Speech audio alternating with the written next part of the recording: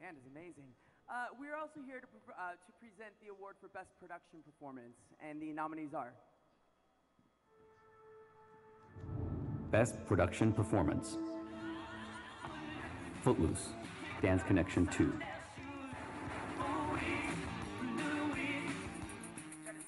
Panini, Maria's Dance Studio.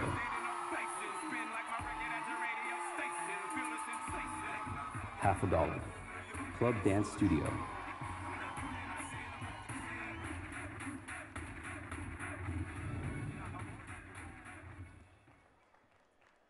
And the dance award goes to half a dollar, Club Dance Studio.